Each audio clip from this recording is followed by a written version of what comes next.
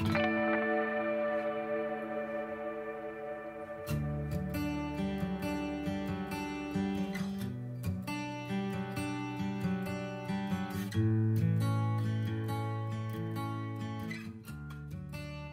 calibration, be sure the serial number of your on-demand calibrator matches the serial number of your meter located in the battery compartment.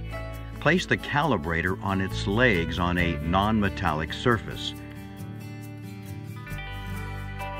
Turn the meter on and use the species material button to put your meter in calibration mode.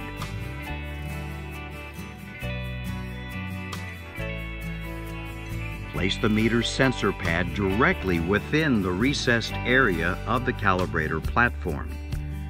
It is important that you move the meter in all directions to ensure that the sensor pad is firmly seated inside the recessed area. Apply light pressure and push the audio button three times. The meter will beep three times to confirm the calibration process. When the process is complete, the meter will display the word lift.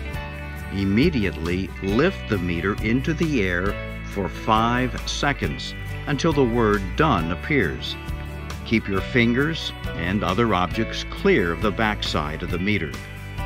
Press the on hold button to return the meter to normal measuring mode.